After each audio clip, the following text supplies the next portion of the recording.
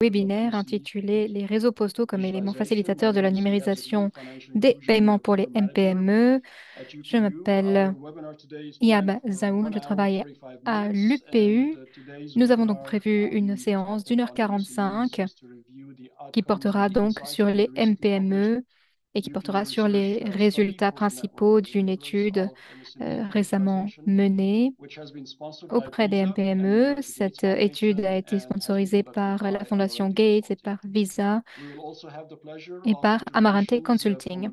Nous entendrons différents orateurs qui nous parleront du rôle important des MPME dans nos vies, dans notre, nos économies.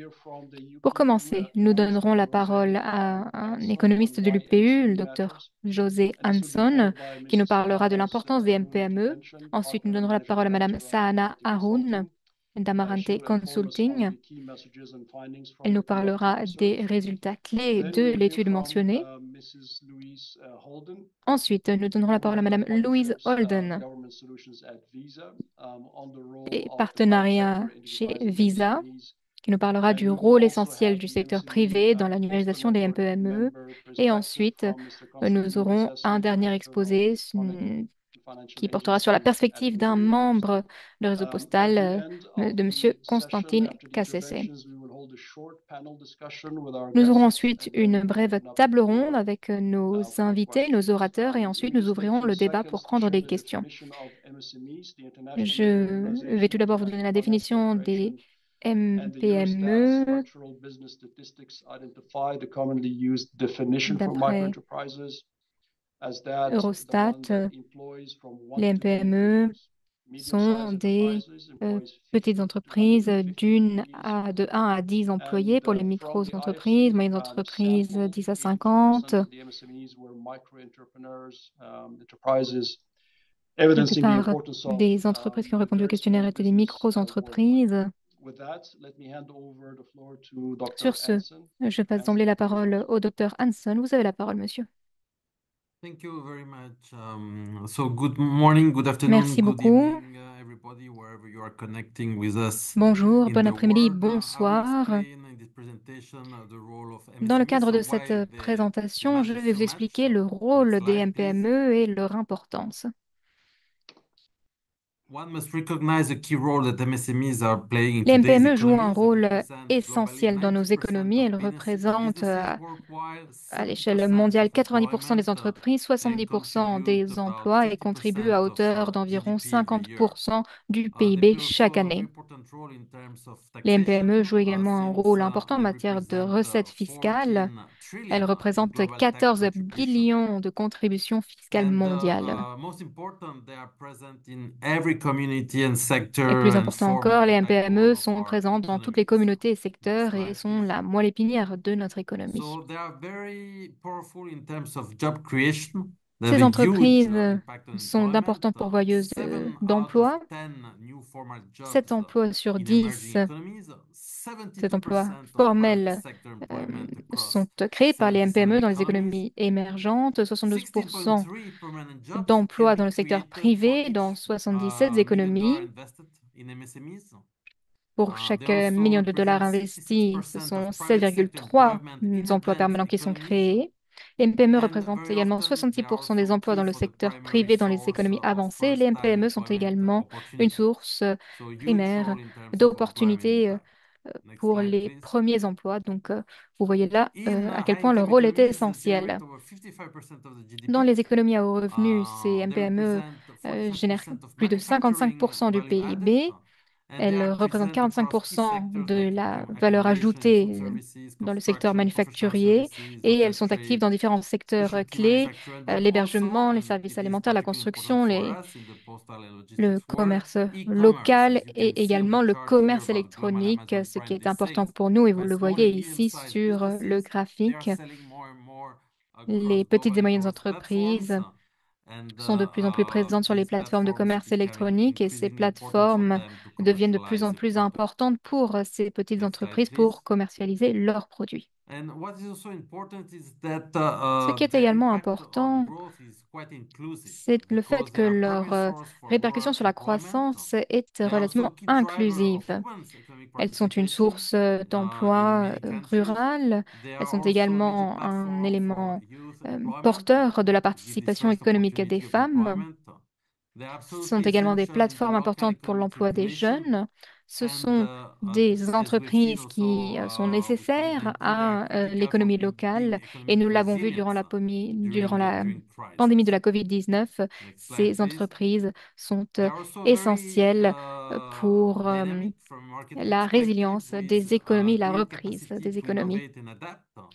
Uh, have Ces entreprises ont un fort taux euh, d'innovation. Ce sont également des entreprises qui s'adaptent Uh, rapidement au responsive changement from a du marché.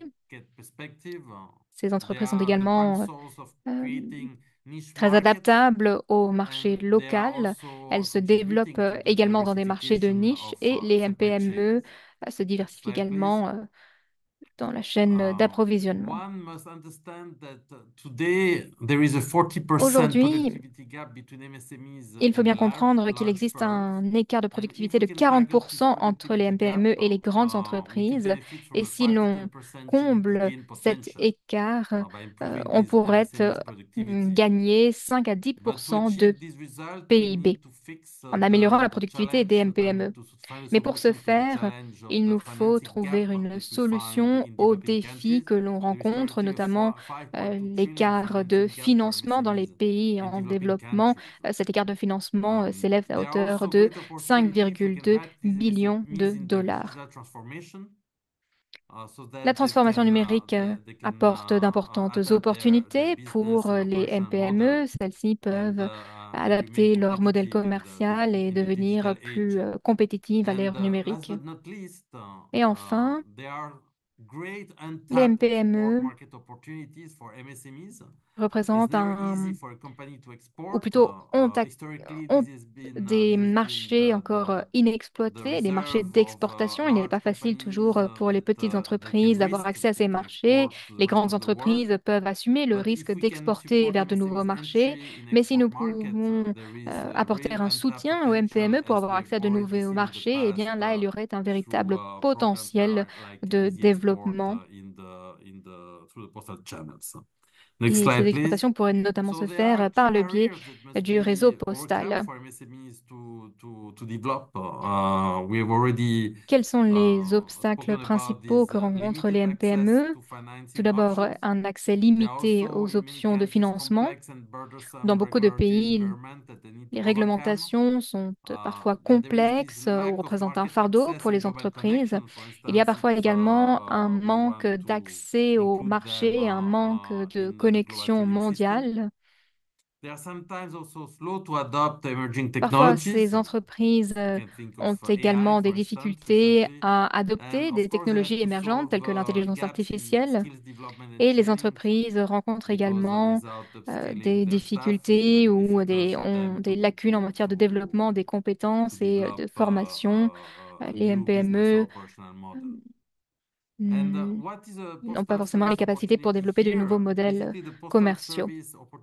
Quelles sont les opportunités pour le, les réseaux postaux? Il est possible de these development barriers for M- MSMEs? Because surmonter ces obstacles en matière de développement. uh, Tout infrastructure all d'abord, la portée d'infrastructure des réseaux postaux est euh, 650,000 post très grande. Nous uh, comptons 650 uh, of, who, 000 of which bureaux de poste de par le monde. They Ces bureaux de poste sont également présents 97% dans les uh, uh, communautés rural rurales. Il y a un taux de world. And those institutions 97% euh, de bureaux de poste dans les communautés rurales.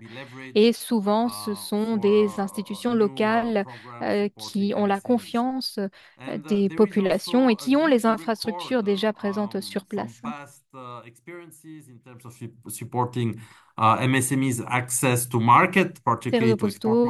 uh, ont euh, Brazil, uh, uh, déjà personally, montré quels étaient euh, le potentiel pour aider les MPME, par exemple au Brésil, par le biais de différents programmes. Il y a eu une- un soutien à uh, l'accès au marché uh, et les résultats ont été très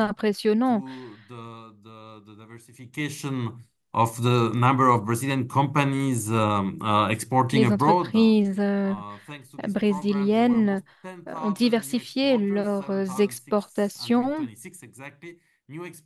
On a compté euh, plus de 7600 nouveaux exportateurs. Il s'agissait à 82% de nouveaux exportateurs ou de MPME nouvellement exportatrices.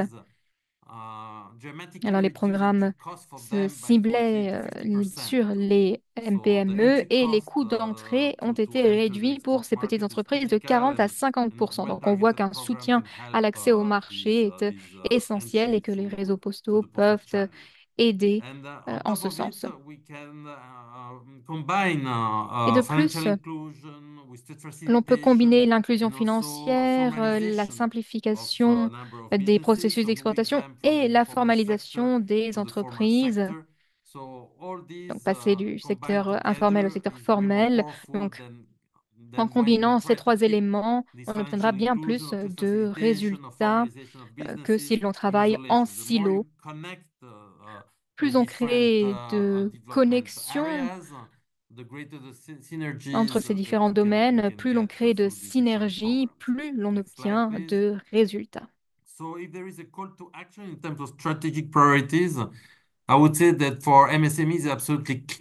En ce qui concerne les priorités stratégiques, hmm, je dirais qu'il y a tout d'abord euh, le fait de promouvoir une inclusion financière à travers des services accessibles, abordables, il faut également euh, se concentrer sur l'efficacité des MPME, sur la transformation numérique. Il faut également étendre l'accès au marché pour encourager la croissance des entreprises, investir dans les renforcements des capacités et dans le développement de compétences, et ensuite euh, également euh, améliorer les infrastructures existantes pour euh, permettre d'utiliser d'autres solutions. Et enfin, deux domaines, euh, ou plutôt plusieurs domaines où il y a une marge de manœuvre pour du progrès, donc les partenariats et les cadres réglementaires. Aujourd'hui, nous vivons dans un monde euh, porté par les données. Nous avons des données sur tout. Et donc, il est très important de développer des partenariats qui soient fondés sur les données et qui soutiennent le développement des MPME, et ce, au travers des services et réseaux postaux. Cela nous permettrait de bien mieux mesurer les répercussions des modèles pour pouvoir tirer des enseignements, pour pouvoir ajuster les partenariats euh, et les soutiens mis en place. Bien entendu, il était également important d'avoir des cadres réglementaires et de les transformer pour permettre d'encourager le développement des MPME. En mesurant les partenariats, il faut également évaluer les répercussions des différents cadres réglementaires. Et grâce à nos réseaux, nous sommes bien équipés, puisque, je le disais, nous avons beaucoup de données, nous avons des données sur tout ce qu'il se passe dans les différents réseaux, et donc nous pouvons mettre à l'essai différents cadres, voir quels sont les cadres qui permettent un meilleur développement des MPME. Et enfin, encore une fois, si l'on revient sur les données, si l'on utilise l'intelligence artificielle, nous avons déjà commencé à le faire à l'EPU, nous pourrions donc euh, travailler à une optimisation fondée sur l'intelligence artificielle, donc des partenariats et de la conception euh, des réglementations.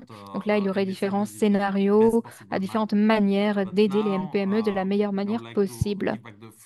À présent, j'aimerais rendre la parole aux autres orateurs, leur céder la parole pour qu'ils puissent nous présenter les euh, solutions euh, qui s'offrent aux MPME. Je vous remercie. Merci beaucoup. Merci pour ces contributions. Je donne à présent la parole à um, Amarante Consulting, qui a été mandaté par l'UPU pour um, réaliser un travail euh, notamment sur les partenariats, sur euh, la numérisation des MPME. Euh, cette étude a été publiée, elle est déjà disponible sur le site de l'UPU. Et sur ce, Madame euh, Arunkumar, je vous donne la parole. Merci beaucoup. Merci pour cette excellente présentation. J'aimerais revenir sur quelques-unes des statistiques que vous avez mentionnées. Vous l'avez dit, environ 90% de toutes les entreprises sont euh, des MPME du secteur informel souvent, ou alors euh, il s'agit euh, d'une combinaison du secteur formel et informel, mais ce sont des entreprises qui euh, contribuent à hauteur de 70% en matière de création d'emplois et qui représentent 50% du PIB dans le monde. Ce sont des chiffres très importants. Vous avez également mentionné un écart en matière de financement, c'est-à-dire qu'il y a une demande de financement, d'investissement, et l'industrie n'est pas même de répondre à cette demande. D'après le rapport euh, sur le panorama mondial de l'UPU, 90% des réseaux postaux dans le monde fournissent déjà des services financiers et euh, 35% euh, de ceux qui se trouvent dans les marchés émergents proposent des solutions de paiement numérique. Euh, c'est là que nous parlerons donc euh, de numérisation et des MPME. Et il y a également une demande croissante pour un accès numérique, il faut le mentionner. Il existe donc des opportunités pour les MPME pour que celles-ci aient accès à de nouveaux marchés, pour qu'elles puissent rationaliser leurs processus, leurs transactions et rationaliser également leurs euh, ressources.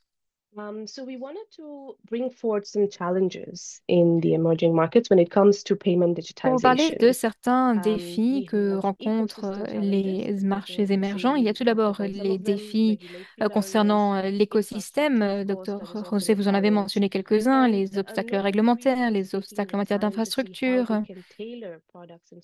Parfois, les MPME manquent également de temps pour proposer des produits adaptés ou personnalisés. Il y a également parfois un manque de protection des consommateurs et l'on voit également que mm, les, espèces, les paiements en espèces sont encore beaucoup euh, utilisés. Concentrons-nous euh, à présent sur euh, l'expérience des commerçants.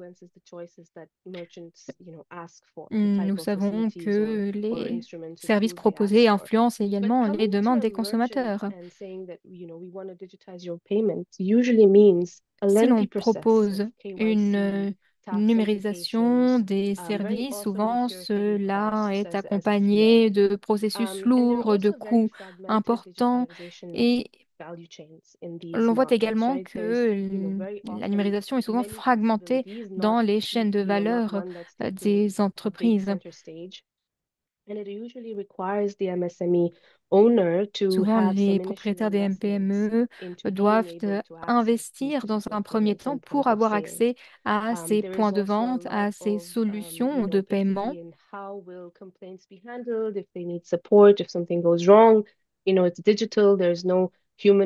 S'il y a euh, des soucis, s'il y a un besoin de service client, tout cela est numérisé, il n'y a plus de euh, contact physique, mais également la question de la confidentialité des données. Et enfin, il y a également des obstacles psychologiques à la numérisation des paiements. Cela est parfois dû à un manque de connaissances euh, dans les technologies euh, numériques. Enfin, pour ce qui est des défis rencontrés par les consommateurs finaux, euh, ceux-ci ont parfois des hésitations quant euh, aux frais de transaction qui pourraient s'appliquer. Il y a parfois une euh, préférence pour les espèces plutôt que les paiements numériques. Parfois, les consommateurs ont de mauvaises expériences utilisateurs. Et enfin, parfois, les paiements numériques sont une, une notion abstraite qui était exacerbée par euh, de faibles compétences euh, numériques. So we Concernant les postes, que peuvent faire les postes pour répondre à ces défis? Penchons-nous sur les forces nous savons que les euh, postes fournissent déjà des services financiers. C'est le cas pour 90% d'entre elles. Les postes sont également présentes dans les zones rurales. Et les postes sont souvent une euh, forte présence euh, de marques euh, auprès des communautés. souvent, les populations disent Ah, mais j'aime beaucoup mon bureau de poste, cela fait longtemps que je ne m'y suis pas rendue, mais j'aime quand même ce service. Il y a également des partenariats euh, établis entre les bureaux de poste et, par exemple, des agences gouvernementales. Les banques postales s'établissent et permettent euh, d'offrir, de fournir euh, différents services financiers.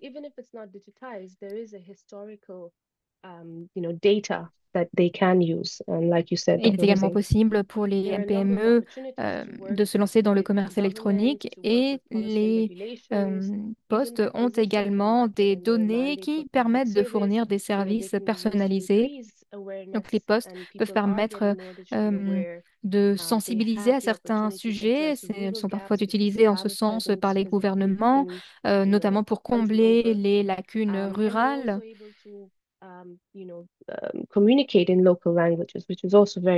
Et les postes, les bureaux de poste sont également à même de communiquer dans la langue locale des communautés, ce qui est très important. Concernant les faiblesses, nous observons qu'il n'y a pas toujours d'approche personnalisée. C'est une approche de masse, une approche générique qui est proposée, ce qui ne correspond pas toujours aux consommateurs.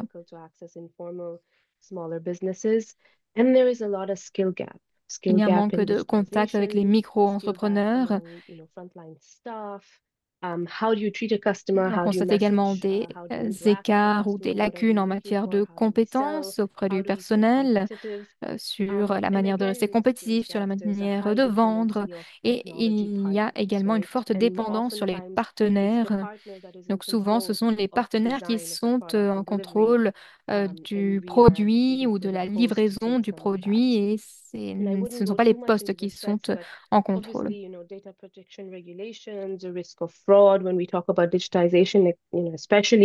Il existe également des risques de fraude. Mm.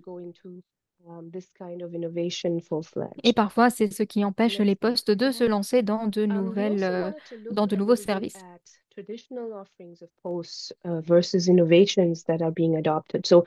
obviously across products, channels and Quels sont les services euh, traditionnellement offerts, les produits? Il y a différents produits, il y a différents canaux de livraison.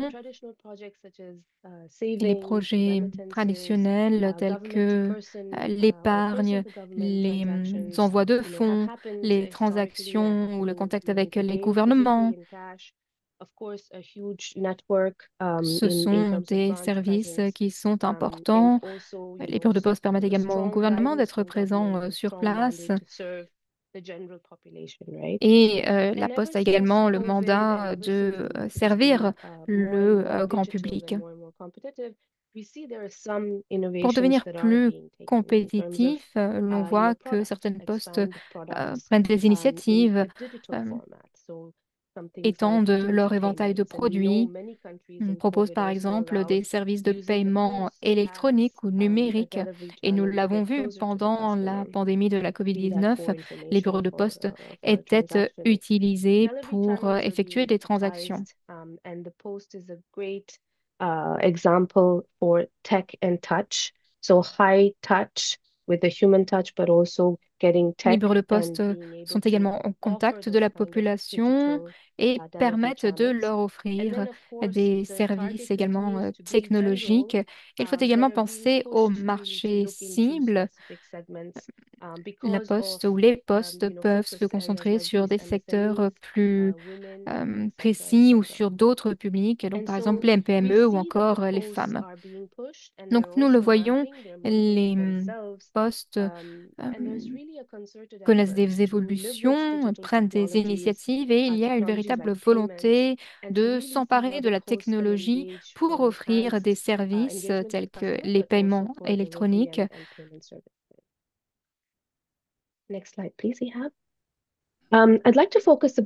J'aimerais à présent me concentrer sur euh, l'étude qui a été mentionnée. Si on prend par exemple les défis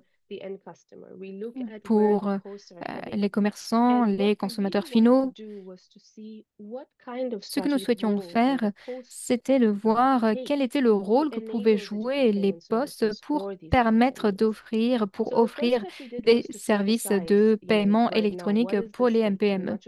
Donc, quel est l'état de la situation? J'ai parlé des défis de solutions innovantes, mais qu'est-ce qui peut faciliter ces services de paiement pour les MPME par le biais des postes?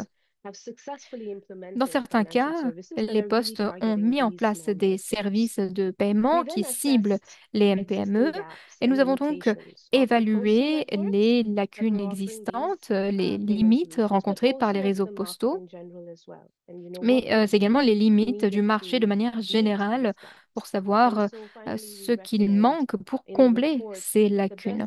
Et ce que l'on apprend dans le rapport, networks to really enable small merchants to c'est qu'il adopt existe plusieurs euh, stratégies, plusieurs euh, voies pour les réseaux postaux pour permettre aux petits commerçants euh, d'adopter et euh, d'utiliser des euh, formules de paiement électronique de manière efficace. So putting together some key study learnings, like, you know, the, the study really reveals the potential that posts have L'étude montre quel est le potentiel qui peut être exploité par les réseaux postaux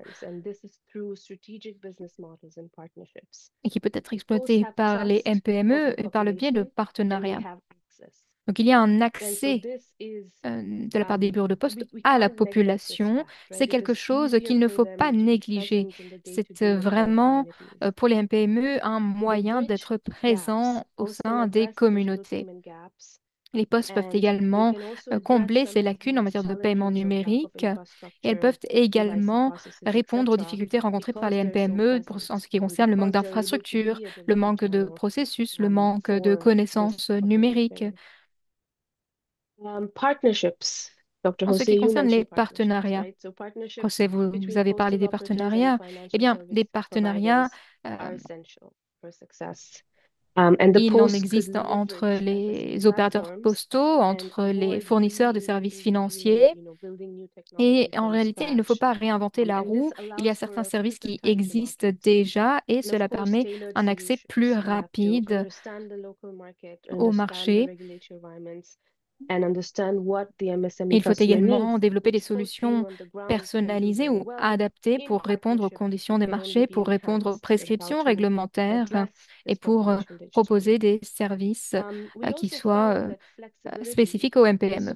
Concernant la flexibilité, c'est un élément très important, notamment dans les types de paiements qui sont disponibles. Les consommateurs So veulent de la flexibilité, veulent différentes options. Bring in that flexibility. We talked a lot about skill gaps for Nous avons également parlé de euh, lacunes en matière de compétences. Donc le renforcement des capacités, le développement de compétences, c'est très important. Il est essentiel de proposer des formations pour que les postes puissent intégrer ces nouveaux services, les offrir de manière efficace. L'interopérabilité, ce n'est pas quelque chose euh, que peuvent résoudre les postes. Néanmoins, c'est un élément important en matière d'infrastructure Car cela permet aux MPME management, euh, d'avoir accès à davantage de services. Et enfin, la durabilité. Les postes peuvent euh, développer des études euh, euh, exhaustives, faire des projections financières. Les postes ont accès à, différentes données qui peuvent permettre de prendre de meilleures solutions, kind de trouver des solutions à long terme. So this is, I think, the most critical part voilà of the maintenant la partie du rapport euh, la plus importante, euh, il me semble. Elle montre euh, trois modèles commerciaux où les postes peuvent prendre position pour desservir les MPME de façon plus efficace. Maintenant, ces trois modèles ne s'excluent ne pas mutuellement et euh, les euh, postes euh, peuvent utiliser tel ou tel aspect de ces différents modèles en fonction du contexte du marché. Le modèle 1 donc, les postes en tant qu'agents des services financiers. Les postes euh, servent donc euh, d'agents pour euh, les fournisseurs de services financiers. et ils offrent souvent des produits tels que le cash in, cash out, les paiements, l'épargne, le crédit, les assurances adaptées aux MPME. Et là, je vous donne un exemple de la poste indienne qui fournit des services euh, financier aux euh, clients ruraux et qui euh, a pu atteindre 15 millions de personnes. Deuxième modèle, là, les postes servent d'acceptateurs, d'accepteurs des paiements numériques.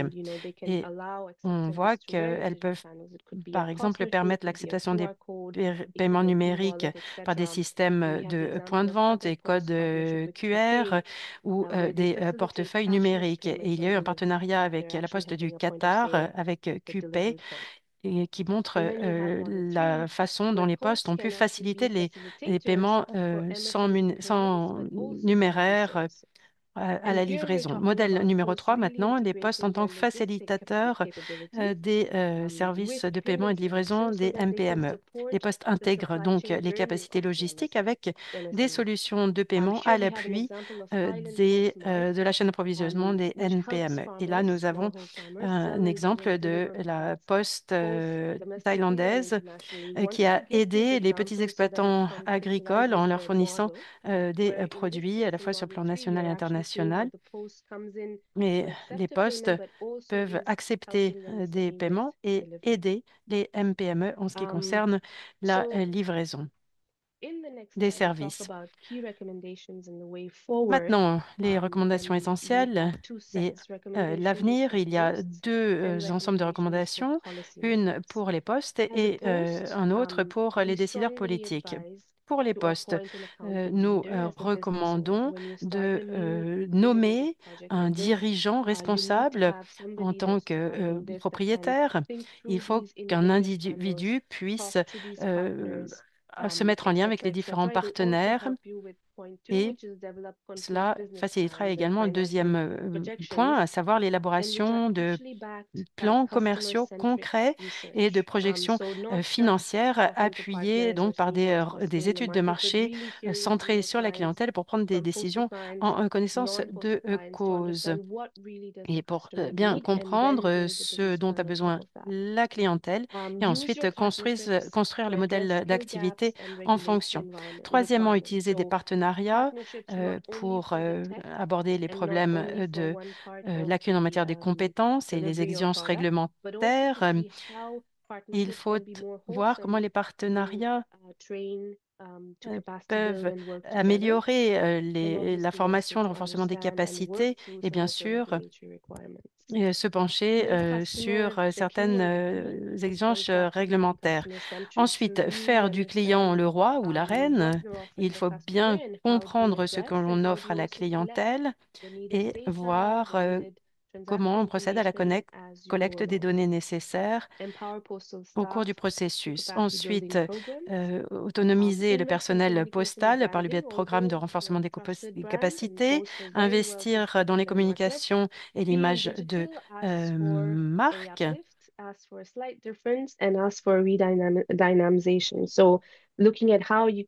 voir également comment on peut prendre une marque qui est déjà très solide et lui donner encore un petit coup de pouce pour qu'elle euh, puisse euh, euh, être à la hauteur des innovations que les postes peuvent proposer. Et enfin, il faut être léger, agile. Lorsque l'on aborde un projet novateur, il faut être capable de changer de cap partenariats doivent être flexibles il faut qu'il y ait plusieurs cycles de développement euh, des produits euh, pilotes et euh, qui permettront aux euh, postes euh, de se développer dans ce sens. Recommandations pour les décideurs. Maintenant, plaider pour un réseau euh, postal euh, parce que les postes peuvent euh, vraiment euh, pousser pour l'inclusion financière. Il faut se positionner euh, dans ce sens. Ensuite, favoriser les capacités postales pour euh, offrir ces solutions de numérisation des paiements. Il peut y avoir euh, du renforcement des capacités, des euh, sessions euh, de formation. On peut, il faudrait plutôt renforcer, l'interopérabilité euh, parce que euh, c'est essentiel. Il faut faciliter le, la construction de partenariats. En tant que poste, vous, en tant que décideur, vous pouvez adopter ce rôle à l'appui des SMI et et également euh, favoriser la collaboration régionale. Le docteur Rosé nous a parlé du commerce et de la façon comme, dont cela peut euh, améliorer les importations, les exportations et la façon dont la collaboration régionale euh, peut permettre de mieux euh, appuyer et desservir les MSMI. Et, et, je suis arrivée au terme de ma présentation. Je vous remercie de m'avoir écouté. 29 pays ont fait l'objet de cette étude. Nous avons euh, de, nombreux, de nombreuses séances d'information. Nous remercions euh, l'UPU de notre collaboration. Merci beaucoup, Sahana. C'est une étude très intéressante. Il y a encore beaucoup d'informations, donc veuillez vous euh, procurer ces résultats qui se trouvent sur le, le site web de l'OPU. Il y a encore beaucoup d'informations supplémentaires. Ensuite,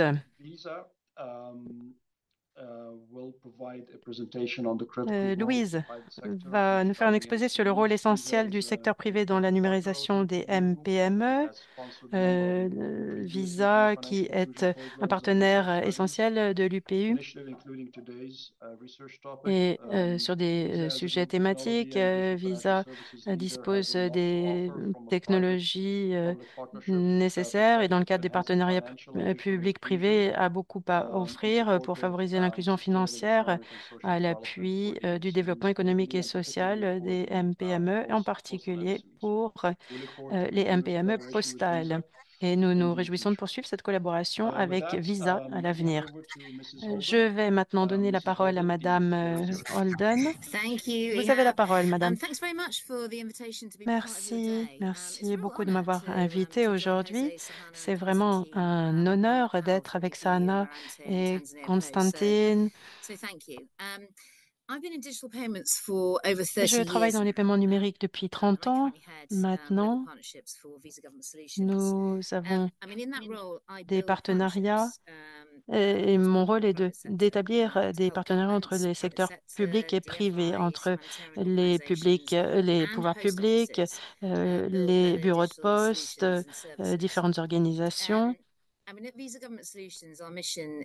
Notre mission est d'aider les gouvernements et la société euh, civile à fournir des technologies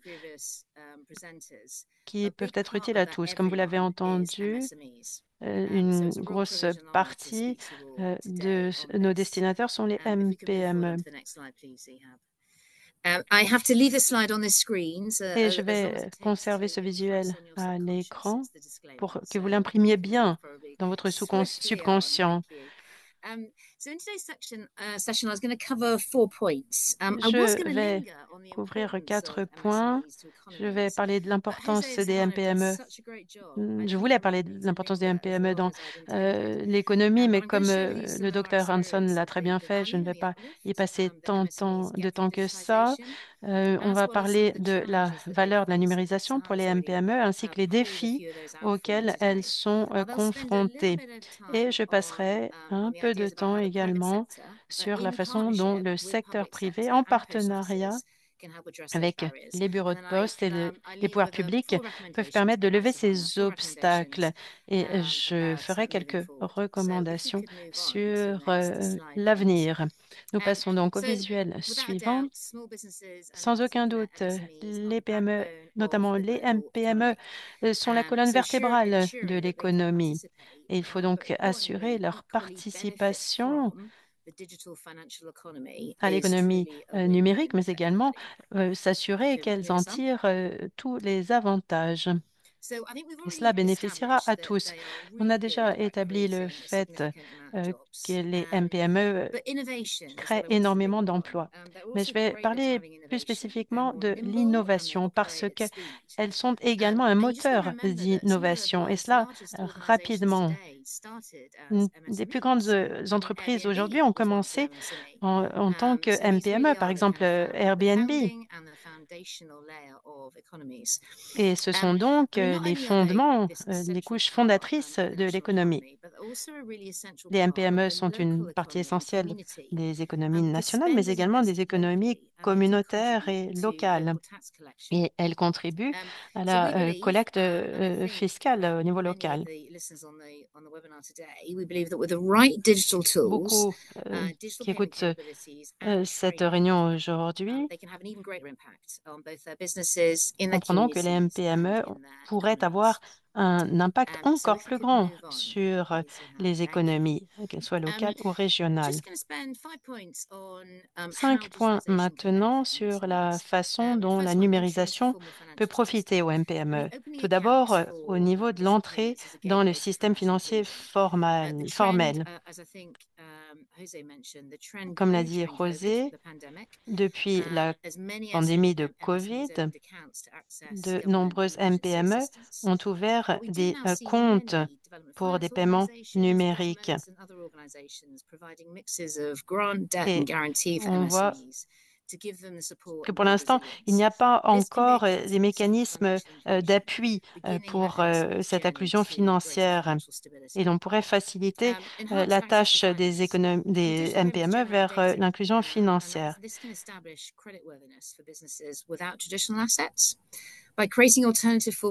Il y a également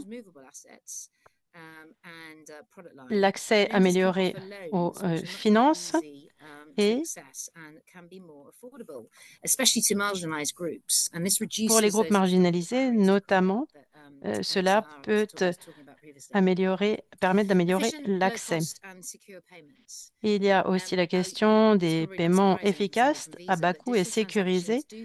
Les transactions numériques simplifient et accélèrent les paiements en améliorant les flux de capitaux. Et cela permet de réduire les coûts de gestion et d'améliorer la sécurité, notamment pour les entrepreneurs femmes.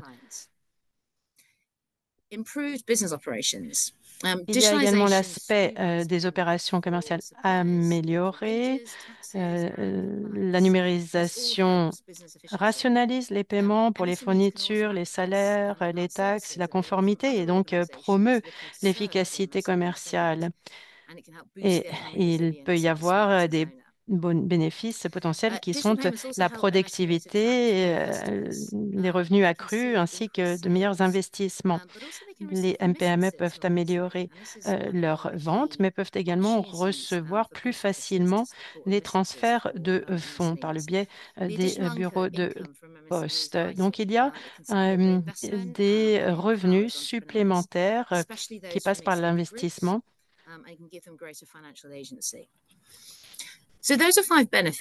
Il y a donc cinq types de bénéfices.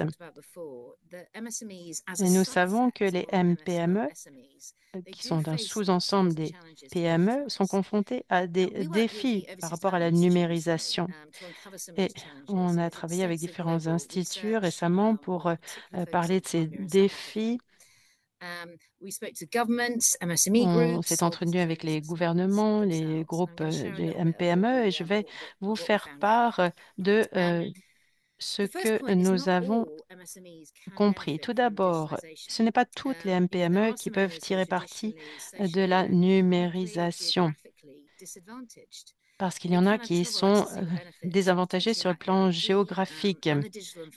Par exemple, il peut y avoir des problèmes en ce qui concerne la connectivité, l'accès aux dispositifs, la documentation d'identification, la culture numérique plus faible. Et il y a ensuite une dépendance accrue aux intermédiaires et cela peut constituer des risques. Nous savons que la numérisation peut réduire de nombreux coûts pour les MPME. Il peut y avoir les coûts d'entrée, par exemple, mais il peut y avoir également de nouvelles dépenses telles que la nécessité de dispositifs mobiles, de plans de données, de frais de transaction, et cela peut faire que certains, certaines MPME sont réticentes à aller dans cette voie. Ensuite, la visibilité et les préoccupations en matière fiscale. Les pensent que la numérisation peut améliorer la visibilité et donc que cela peut, peut, peut faire qu'elles seront également plus visibles et cela décourage l'adoption de systèmes numériques. Et enfin, la question des risques en cybersécurité et des données. Il est très important de reconnaître ces défis auxquels sont confrontés les MPME. Il y a quatre opportunités essentielles pour le secteur privé pour faciliter la numérisation des MPME. Il y a tout d'abord une responsabilité collective quant à l'aide aux PME pour la numérisation. Une collaboration active de toutes les parties prenantes est nécessaire pour la transformation. Ce n'est pas la responsabilité d'un seul secteur de la société. Et Visa est tout à fait convaincu de cela. En 2020, nous avons fixé l'objectif de numériser 50 millions de MPME d'ici 2023 et nous l'avons fait, mais pas tout seul. Nous l'avons fait dans le cadre de partenariats avec le secteur public et privé. Et une grande proportion de, cela s'est fait par notre collaboration avec les postes. Il y a donc quatre opportunités essentielles pour conduire cette numérisation et l'accélérer. Tout d'abord, les solutions. Il y a les, produits. Les produits, des solutions qui, sont, qui doivent être localisées, contextualisées pour refléter leur connectivité et de nombreuses solutions existent, les paiements numériques existent et parfois cela peut permettre d'améliorer l'accès au marché. Et le secteur privé peut aider avec des solutions comme la place de marché électronique, des outils de commerce électronique notamment. Et tout cela peut être amélioré par la collaboration publique-privée. Et il faut qu'ensuite ces solutions soient acceptées par les MPME. Deuxième aspect, financement et soutien. Il y a une nécessité de financement importante. Il y a différents financements disponibles. Il y a des prêts, des, différentes, différents mécanismes d'appui. Et nous avons vu qu'il y avait une augmentation significative du financement des pouvoirs publics et qui passe par les banques locales. Nous essayons de permettre des lignes de crédit pour les MPME pour, pour lutter, la lutte contre les catastrophes naturelles et également pour aider certains petits exploitants. On se fonde sur différentes catégories pour cela et il faut ensuite mesurer l'efficacité de ces programmes. Mais la coopération va au-delà des mécanismes de coopération. Il faut également renforcer les capacités. Il faut former, il faut apporter un appui financier parce que l'inclusion financière, ce n'est pas juste ouvrir un compte, c'est pouvoir utiliser toutes ces solutions. Et là, le secteur privé peut fournir un appui ciblé Notre fondation a investi 2,2 millions dans les bourses pour ce type de programme. Ensuite, la culture financière, les connaissances financières, c'est très important. Il y a eu des programmes, des ateliers faits pour éduquer les MPME sur la finance. Et cela peut faciliter les processus. Ensuite, et pour terminer, la collaboration tripartite entre les différentes parties prenantes, elle est essentielle, donc entre le secteur privé, le secteur public, les MPME également.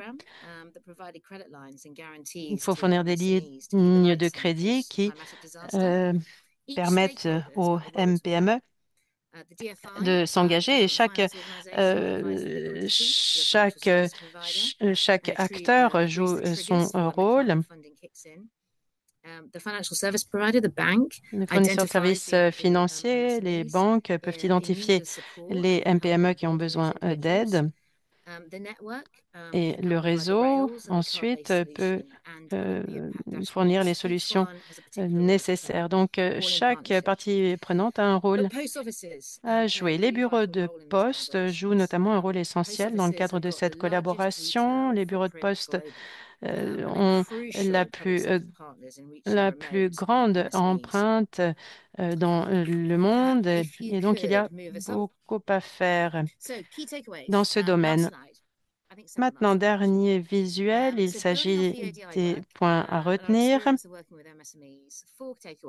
sur la base de notre expérience de travail avec les MPME à l'attention des décideurs.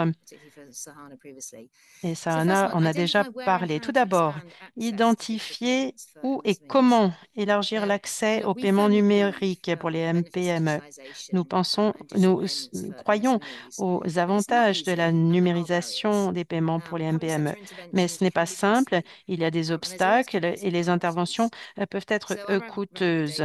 Notre recommandation est donc de faire une analyse de rentabilité complète pour permettre aux parties prenantes d'intervenir au bon moment et au bon endroit. Deuxièmement, renforcer l'écosystème des paiements numériques pour s'assurer que les MPME sont aidés et que les risques sont atténués. Il faut qu'il y ait un environnement propice, un environnement réglementaire propice,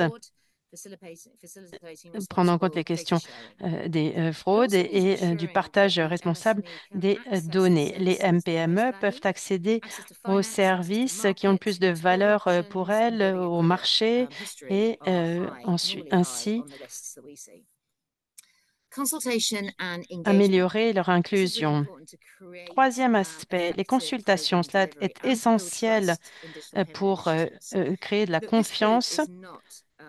Le groupe des MPME n'est pas un groupe homogène. Les besoins sont différents. Et ils ont besoin que l'on comprenne bien leurs besoins et que les solutions soient adaptées à leur situation. Pour le développement des produits, par exemple, nous connaissons bien cet aspect et il doit être pris en compte. Et dernière chose, l'investissement dans les institutions de coordination, c'est absolument essentiel. La recherche nous a montré que la numérisation des MPME n'est pas un plan de numérisation courant.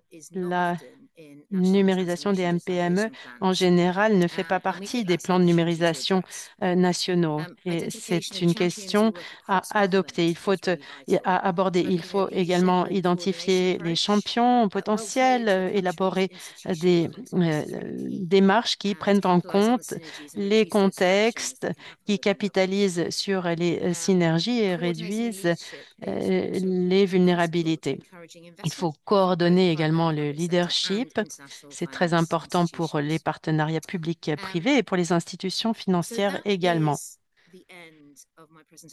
J'en suis arrivée à la fin de mon exposé. Je vous remercie de m'avoir donné l'occasion euh, d'intervenir et nous sommes pleinement engagés en faveur de la numérisation des MPME et nous continuerons à jouer un rôle important auprès euh, de ces MPME dans les économies locales et nationales. Je suis sûre que la numérisation a un rôle euh, essentiel à jouer pour le bénéfice de tous les propriétaires de MPM. Je vous remercie.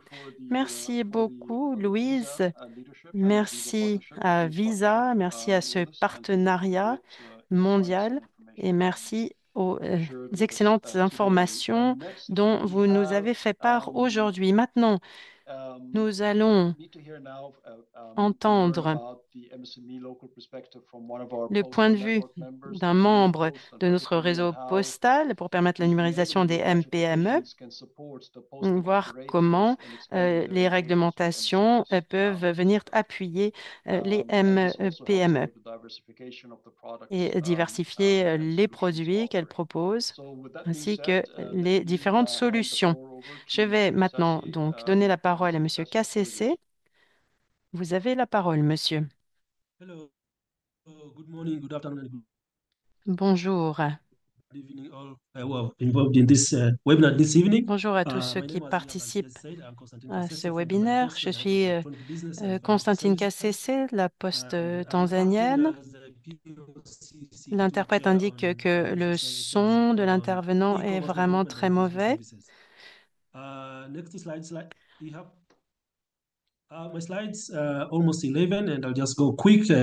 vais vous présenter rapidement quelques visuels pour que vous voyez ce qu'a fait la Poste tanzanienne à l'appui des MPME. Et je vous présenterai la réforme qui a été adoptée par le gouvernement. La Tanzania Post Corporation, TPC, a été euh, établie par euh, loi du Parlement numéro 19 en 93 et est devenue opérationnelle en 94. Elle fait partie de plusieurs euh, organisations, l'UPU, l'UPAP, la OPA, le ACO. Nous appuyons les services postaux.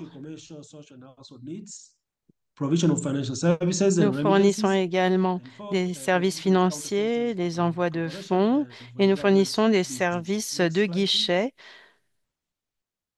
pour les euh, services publics et les entreprises. Dans notre pays, en Tanzanie, les MPME font une partie importante de l'économie, représentent un tiers du PIB et fournissent des emplois à des millions de personnes, notamment dans les zones rurales et semi-urbaines.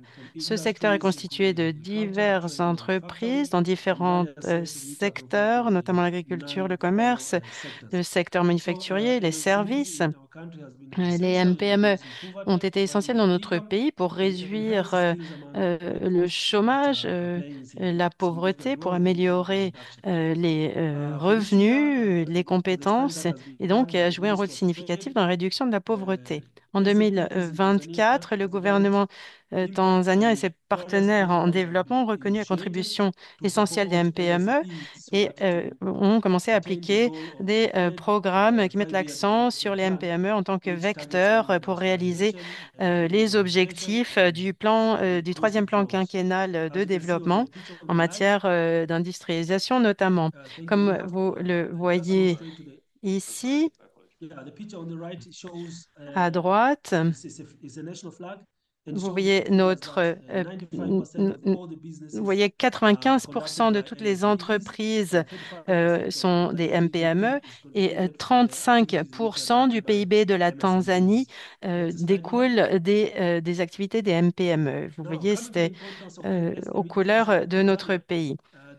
L'importance de l'appui au MPME en Tanzanie. Maintenant, il y a quatre secteurs principaux tout d'abord, la croissance économique. Les MPME donc, représentent 30 à 35% du PIB de la Tanzanie. Par leurs activités. Et c'est le secteur manufacturier, l'industrie et le petit commerce qui représentent le noyau de cela. Deuxièmement, la création d'emplois. Comme je vous disais, la majorité de la main-d'œuvre de la Tanzanie est employée dans les MPME, donc dans le secteur informel. Il s'agit de MPME qui qui emploient et qui permettent de donner aux individus des moyens de subsistance. Troisièmement, réduction de la pauvreté. Les MPME jouent un rôle vital pour atténuer la pauvreté en fournissant des occasions, des opportunités de génération de revenus aux individus et aux communautés à faible revenu.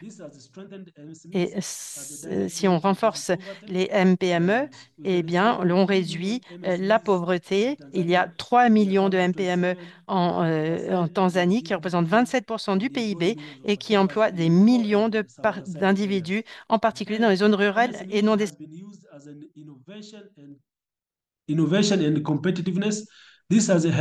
because some of the institutions have been established et les MPME, donc pour l'innovation et la compétitivité, les MPME sont des sources d'innovation et de les créativité. MPME sont également sources d'innovation et de créativité cela, qui permettent des progrès améliorer la technologiques et qui permettent compétitivité d'améliorer au la niveau local et à la fois sur international. les marchés internationaux et locaux. Now, uh, let me just speak about uh, the government initiatives uh, in J'aimerais the également, à présent, pardon, vous parler d'initiatives gouvernementales qui visent à soutenir les MPME. MSMEs, uh, Cela se traduit par quatre initiatives. Tout d'abord, simplifier les processus d'enregistrement des entreprises. Donc, une plateforme en ligne a été mise sur pied pour euh, l'enregistrement. Il est donc possible d'utiliser le téléphone portable ou encore d'aller dans un café Internet euh, pour euh, pouvoir avoir accès à cette plateforme et enregistrer son entreprise.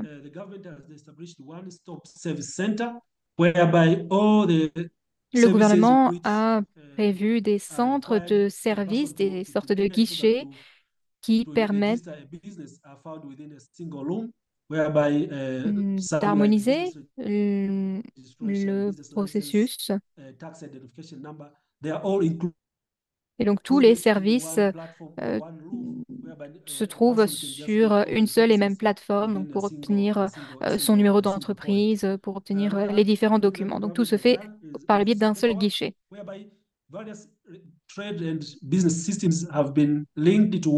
C'est également une initiative qui vise à réduire les, la all paperasse? Il ne suffit plus que d'une carte d'identité pour enregistrer son entreprise. Donc le nombre de documents requis a baissé grâce à l'interopérabilité des systèmes qui permettent is d'enregistrer une entreprise. Autre élément de cette initiative, le frais 5% d'enregistrement qui a été réduit à was 5%. uh, before two- 2002 and now a 5% uh, discount has been done for Donc désormais, une réduction de enterprises who are uh, 5% new one s'applique pour les. MPME, pour les nouvelles MPME qui souhaitent s'enregistrer.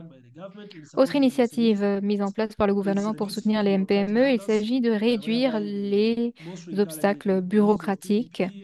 Donc on encourage les partenariats publics-privés. Un centre d'investissement de Tanzanie a également été mis sur pied pour soutenir les MPME Et pour soutenir également les nouvelles MPME, Des formations sont également offertes aux MPME pour qu'elles puissent savoir sur quel marché s'aventurer ou dans quel domaine s'avancer. Des services de secteur public, des mesures anticorruption ont également, mis businesses. été, ont également été euh, mises en place. Autre initiative du gouvernement, rationaliser les processus euh, fiscaux. turnover between 4 million to 100 million, uh, they just get a, enjoy a tax of 3%, while others they're enjoying Donc a l'on est ainsi passé de 18%. 4 millions à And 100 for millions. MSMEs, uh, en termes de revenus. lowered the corporate tax by 25% for a couple of three years, whereby a person Les impôts pour les entreprises a également été 25% of baissé à uh, 25% for pendant trois ans. uh, uh, Il existe également des exceptions ou des dérogations pour euh, euh, les douanes. Beaucoup de MPME qui travaillent dans le secteur manufacturier euh, jouissent d'une uh, dérogation pour les droits de douane pour les matériaux dont elles ont besoin pour euh, leurs opérations. Et enfin, une dernière chose concernant les uh, impôts. Des mesures d'incitation pour les jeunes entreprises ont été mises sur pied, cap of 10 years, whereby they, they just get a tax et ce pour for the 10 ans. To, grow after uh, submitting their business plan and business case to Tanzania Investment Center. Les Uh, entreprises and qui uh, soumettent leurs documents uh, based on the act of Tanzania Investment Center peuvent désormais who are, who are, who are uh, engaged in, in manufacturing sector. avoir un peu plus euh, de temps. Et enfin, dernière initiative euh, uh, mise en place par le gouvernement, l'amélioration de l'infrastructure pour les entreprises. And others uh, they are very new one. Uh, Donc certaines infrastructures sont anciennes, d'autres sont plus nouvelles. Et nous avons donc Uh, euh, des infrastructures physiques, des infrastructures euh, ferroviaires notamment. Et ces infrastructures ferroviaires euh, ont été Uh, construites pour euh, euh, déplacer des personnes, 767 uh, mais nous avons 54 également donc euh, désormais euh, des uh, solutions other, aériennes. Nous pouvons donc déplacer du fret par Uh, cargo euh, à l'aide d'avions Boeing established the Tanzania 767 par exemple. Grâce à la Banque de développement de Tanzanie, des crédits sont également euh, proposés pour notamment le secteur uh, euh, uh, agricole. Il est donc possible pour les MPME d'obtenir un crédit, un prêt pour financer leur commerce.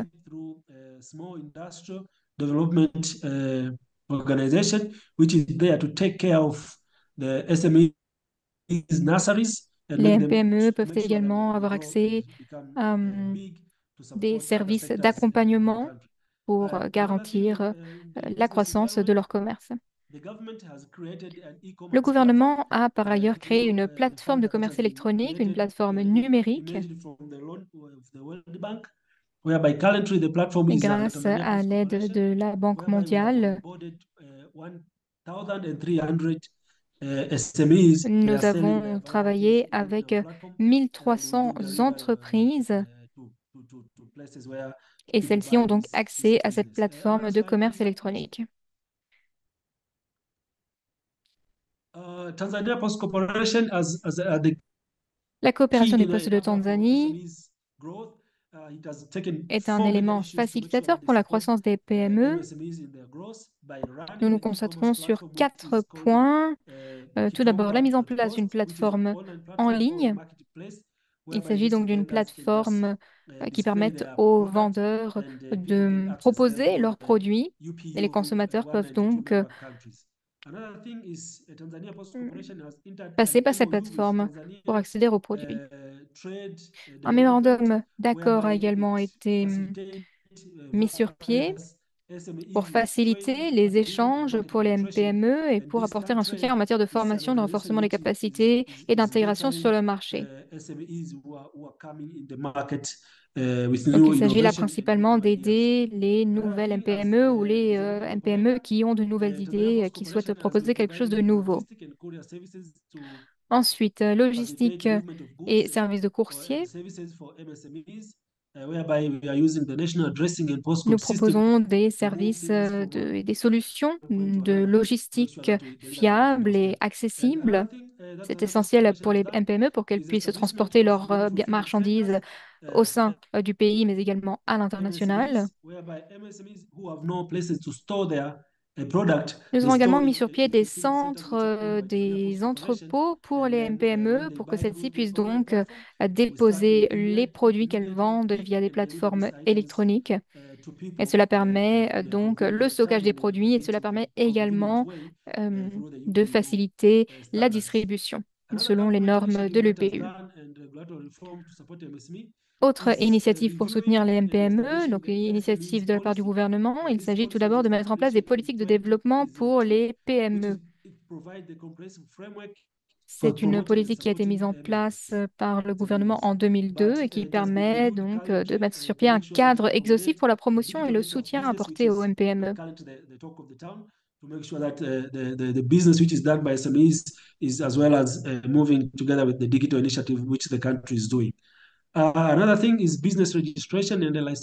Autre initiative, l'enregistrement et euh, uh, l'octroi de licences aux entreprises. Il s'agit donc de rationaliser, d'harmoniser les processus administratifs. Uh, Il s'agit donc d'un service qui permet de fournir des uh, formations, euh, du renforcement de capacités aux. MPME pour que Uh, celles-ci puissent another croître. Autre initiative mise en place par le gouvernement, il s'agit d'une organisation de uh, développement pour les petites industries. Donc, c'est quelque chose qui a été mis en place pour les MPME pour fournir des services. Uh, euh, last de consulting, des services de 800 soutien. Et nous avons donc pu ainsi aider through this 800 uh, MPME en scheme, 2023. whereby they enjoyed uh, business training, consultant, and support Ce sont sure that 800 they grow entreprises qui ont bénéficié uh, euh, de soutien, de conseils pour améliorer la croissance euh, de leur commerce. Et enfin, donc quatrième euh, initiative uh, gouvernementale, l'établissement euh, de zones industrielles. uh, Ce sont donc des zones où l'on trouve euh, toutes les euh, entreprises, ou plutôt bon nombre d'entreprises, et les consommateurs ont donc accès à ces entreprises et uh, cela permet de créer un uh, marché accessible Il y a également donc les infrastructures euh, nécessaires pour que les MPME puissent euh, gérer euh, leurs opérations, leurs uh, activités. uh, people from China. They've just built it and uh, under the government support to make sure that they create a conducive environment for MSMEs to Nous avons notamment travaillé avec euh, la Chine pour euh, mettre sur pied un outil pour les MPME. Next notamment pour aider euh, les entreprises dans le domaine agricole.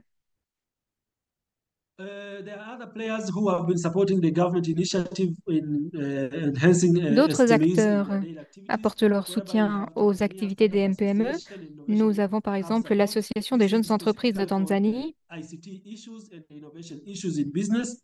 Uh, une association qui se concentre notamment sur les solutions technologiques. uh,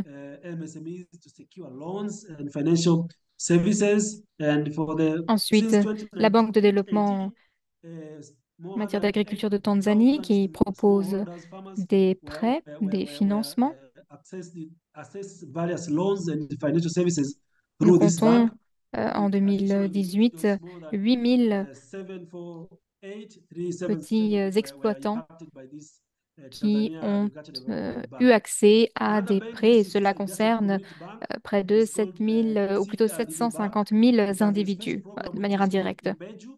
Imbeju, whereby Nous avons également une euh, through 164 rural initiative qui s'appelle 68 Imbenju, une initiative mise en place par euh, euh, l'une des banques, la banque CRDB, qui fournit des financements, des prêts. Nous avons également eu le soutien de l'ambassade suisse. Il s'agit de it l'initiative Daraja. qui regroupe euh, différentes initiatives et qui permet de mettre en contact des personnes qui ont obtenu des financements, qui permettent de mettre sur pied business formations uh, euh, pour que les commerçants puissent is développer leur activité. Et enfin, donc, uh, le Bureau des normes de Tanzanie, uh, some funds for the ce bureau alloue des fonds. 2024. It has et en allocated 25 2024, ce bureau a 250 alloué million uh, 250 Tanzanian shillings millions de shillings tanzaniens par année uh, ces trois dernières années uh, whereby uh, pour aider les MPME à répondre à, 100,000 hum, aux uh, critères 51 des euh, normes de produits. Et cela aide les entreprises à distribuer leurs produits dans la région. De manière générale, en Tanzanie, les MPME sont uh, euh, au constitute cœur de l'économie du pays 94% car elles représentent près de and contribute to 95% des entreprises et 35% of the contribuent à hauteur de GDP and 35% 40% euh, du PIB et représentent all the 40% de 64 la main-d'œuvre. despite Donc the challenges 40% de la main-d'œuvre sur 60 MSMEs, millions euh, d'habitants. uh, Je vous ai présenté différentes Tanzania initiatives.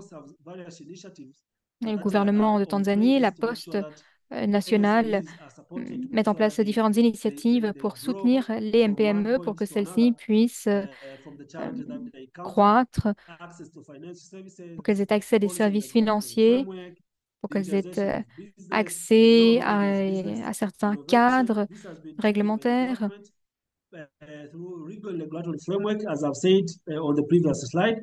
Uh, uh. Establishment of window for financial for SMEs. Nous avons également établi donc des guichets pour euh, euh, des guichets financiers pour soutenir les uh, MPME. from, uh, by, by, by joint between government and other agencies, and conducting training and workshop through the CIDO Et nous uh, mettons également en place des formations, uh, des ateliers. uh, uh, established to support this initiative. And on the side of Tanzania Post Corporation, we have been Donc voilà pour les initiatives du gouvernement. Et pour ce qui est de la Poste de Tanzanie, différentes initiatives ont été mises sur pied, notamment donc des initiatives qui concernent le commerce électronique. Les MPME peuvent ainsi utiliser notre plateforme pour euh, uh, euh, vendre leurs produits. uh, Actuellement, nous sommes en train euh, de mettre sur pied une licence remittances and payment to MSMEs pour les MPME online pour que celles-ci puissent proposer des services de paiement électronique. uh, Et cela devrait permettre de réduire les frais de And transaction pour les we are MPME. accelerating Et our enfin, nous sommes en train logistics euh, d'accélérer euh, nos services logistiques, nos services de post coursier. system to make sure that uh, all De MSMEs cette manière, les they are MPME making peuvent accélérer leurs activités, répondre aux délais impartis uh, UPU et respecter les normes de l'UPU uh, et assurer une distribution en temps voulu, Uh. Uh, next et ce donc en Tanzanie, mais également dans la région. Et j'en arrive désormais à la dernière euh, diapositive de mon exposé. J'aimerais saisir cette occasion pour remercier tous les orateurs qui m'ont précédé, Dr. Uh, José, Sahana. Louise, euh, je vous remercie pour votre aide, je vous remercie pour vos exposés. Uh, in Africa, Et je vous remercie également pour euh, le soutien que nous avons thank you so reçu pour I développer nos services. Je vous remercie et je rends la, vous rends la this parole. um, uh, uh, Merci. Uh, Merci pour cette contribution, for pour euh, nous avoir fait part de votre perspective nationale. Uh, presenters. Um, Merci également à tous uh, les orateurs. And, Nous uh, allons à um, présent our passer à la table ronde. Je vais demander aux Um, différents orateurs qui se sont exprimés um, d'allumer leur caméra. uh, Je vous propose que l'on revienne sur les messages clés de notre discussion d'aujourd'hui. Je commencerai tout d'abord par euh, Amarante Consulting. So, so Sahana and, and John, based on your overall research observations, um, Sahana, John, d'après vos recherches, quels sont d'après vous les éléments clés qui empêchent les services postaux euh, de soutenir euh, les MPME Uh, pour ce qui est des paiements électroniques? Merci beaucoup, John. Je vais peut-être vous céder la parole sur ce point en premier. Yes, yes. Um, I think based on our research, I would say that one is the um, Merci. investment in the capacity building is Je dirais qu'il faut um, investir dans le um, renforcement des capacités. l'un des éléments um, uh, qui constitue une lacune pour les réseaux postaux. Dividing the customers into various categories. Um, and whereas here we need basically an account management. Les consommateurs Um, if account management is not done, dividing the um, sont répartis entre différentes catégories. into two types of categories, large businesses like banks. Generally, the post office are very good in um, Et uh, généralement, the les bureaux de poste sont très bons pour Uh, répondre à almost à 60 différentes catégories. Et nous comptons uh, par exemple près de reaching out to 60 them millions de uh, MPME. uh, Et c'est une excellente um, opportunité pour euh, les postes d'investir dans le renforcement des capacités, de, d'investir the dans les infrastructures. um, Ce sont, je dirais, les deux éléments qui posent des difficultés. Again a area which post office need to really move ahead. I think these are Et je uh, pense qu'il two faut areas vraiment avancer dans cette voie pour, euh, plutôt que d'avoir une uh, approche euh, de masse, nous concentrer sur une approche one ciblée, personnalisée pour les MPME. the Et j'ajouterai encore quelque chose. uh, huge Les MPME, have en Inde du moins, et également dans les autres pays concernés par la recherche, les are exportent beaucoup. uh, uh,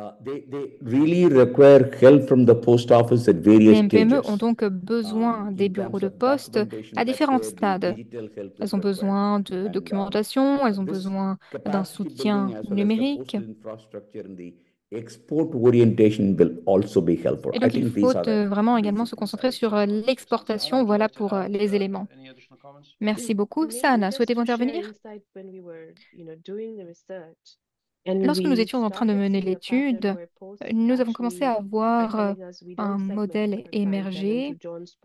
To John's point, it's not only about the account managing for the MSMEs, but Il ne s'agit pas simplement de répondre aux besoins des MPME, mais même pour les consommateurs, il y a une approche générique. and the feedback is we know our customers very well, we know our Et les retours sont les suivants. Nous connaissons très bien nos consommateurs, nous connaissons la langue locale.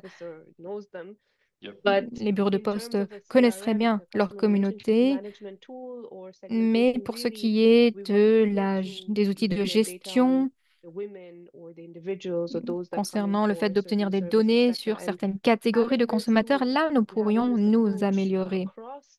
Donc, il faudrait avoir une approche transversale. Cela permettrait euh, de connaître euh, encore davantage nos um, clients. John and Merci. Uh, Merci, John. Merci, Sana.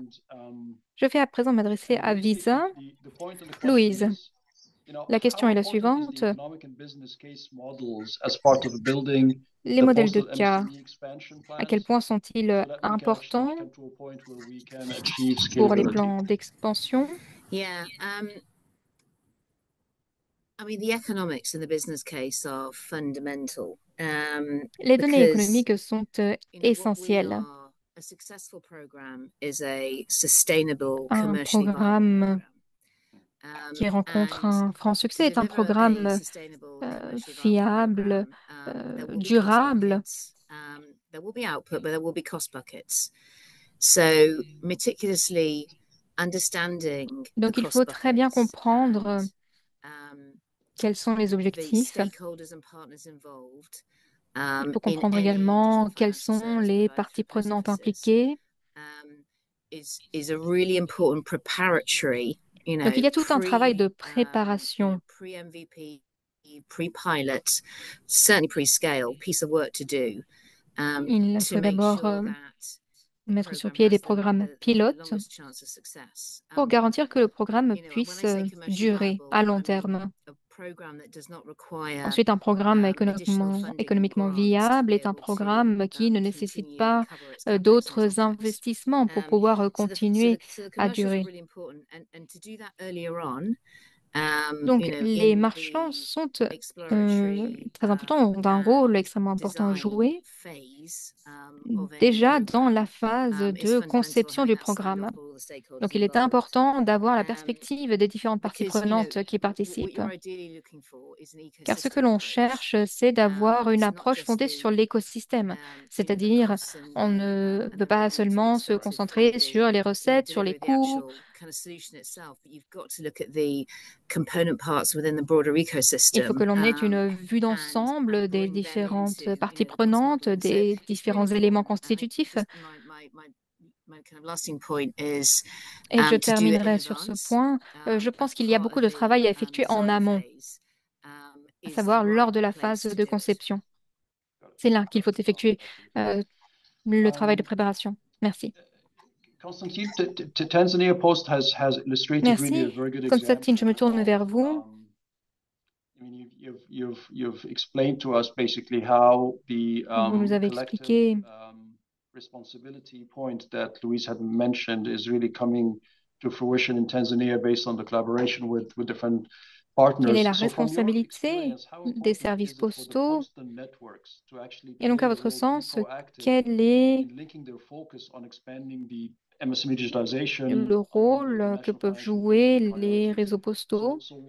Comment les post, postes peuvent-elles répondre aux priorités? Que peuvent faire les postes pour euh, garantir que ces activités euh, existent? Que peuvent faire les postes? Uh, thank you, Ihab. Uh, thank you Merci, Ihab.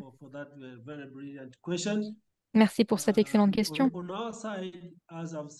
Alors, comme je l'ai dit lors de mon exposé, uh, more than 30% of the business in, in our plus de country is 30% des entreprises, euh, ou plus de we can't be 30% aside des échanges sont dus aux MPME. Donc, nous ne pouvons the pas mettre de côté les initiatives qui se concentrent sur les MPME, car ce sont les MPME businesses. qui euh, uh, contribuent à l'économie. They are feeding big industries uh, which are uh, within the country. So Les post, participent également aux activités de plus larges entreprises. Donc, of en ce qui concerne les postes, euh, pour la Tanzanie, of mais the peut-être également people pour le continent africain, la plupart des personnes qui sector.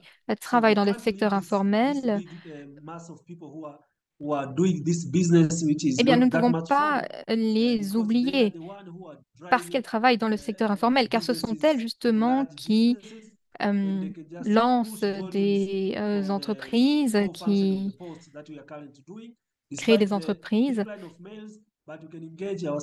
Et donc, uh, malgré le déclin euh, du some courrier, uh, nous proposons des services are aux. MPME pour que les MPME puissent vendre leurs produits. Concernant l'inclusion financière,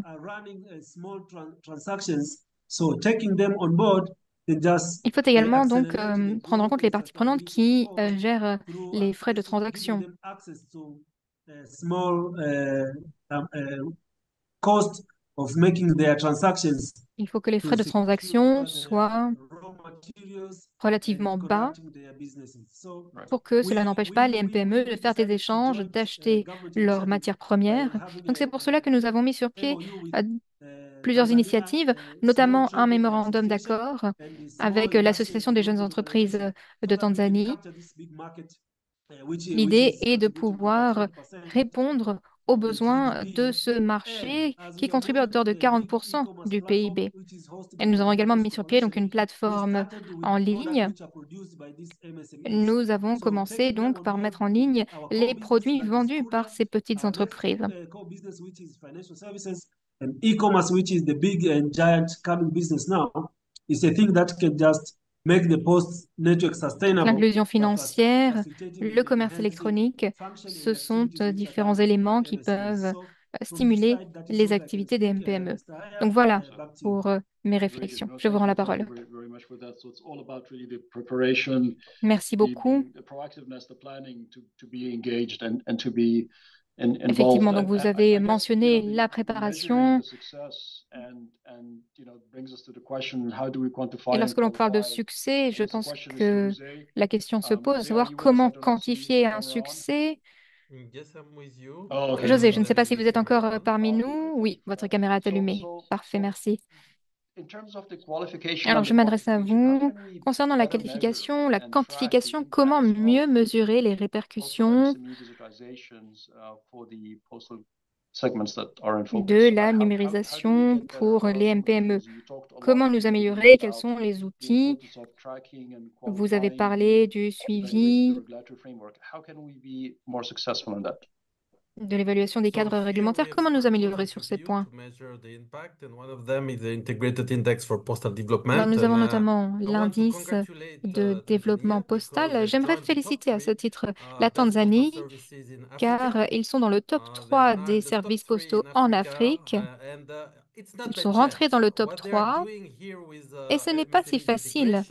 Ce qu'ils font pour l'intégration des MPME, c'est de suivre une approche euh, systémique, une approche globale qui comprend le commerce électronique, qui comprend l'intelligence artificielle, le marketplace. C'est un soutien pour les MPME et c'est ce qui fait euh, très certainement que leur performance postale est si bonne. Donc, félicitations à la Tanzanie. Nous analysons des billions de points de données hum, des différents services postaux dans le monde et nous sommes très heureux de remarquer que la Tanzanie a vraiment amélioré son score de hum, performance. Et cela ne s'est pas fait euh, uniquement par hasard. Alors, personnellement, en tant qu'économiste, je ne veux pas dire le contraire ou m'opposer à ce qui a été dit par Sahana, mais moi je suis fermement convaincu par le modèle numéro 3 qui nous permet de créer une combinaison de services et de les offrir euh, de façon conjointe aux MPME. Et c'est ainsi que l'on peut également parler aux grosses plateformes de commerce électronique, Amazon, entre autres. Car si vous savez comment créer cette offre combinée de services, vous pourrez aller dans ce sens. Donc, je suis vraiment convaincu par ce modèle numéro 3. Et pour ce modèle-là, l'une des forces euh, du réseau postal, il y a par exemple le, système euh, de déclaration douanière. Et si on combine tout cela avec les données de paiement des partenaires dans le domaine des cartes de crédit, on pourrait obtenir un nombre considérable de renseignements d'informations euh, pour euh, ces secteurs du marché. parce que les postes ont toujours respecté les euh, données des individus. Et c'est euh, d'ailleurs toute l'histoire des postes euh, avec le respect des informations, des données qui est au cœur de leur service depuis le 19e siècle. Avec les lettres, il s'agit d'assurer la confidentialité des informations contenues dans les courriers.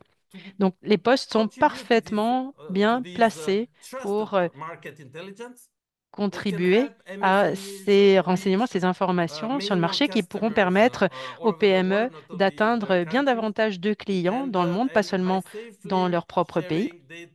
Et c'est le partage sécurisé des données avec des partenaires sans mettre en péril euh, la confidentialité des informations qui est importante. Et pour cela, il faut qu'il y ait le cadre réglementaire en place dans chaque pays.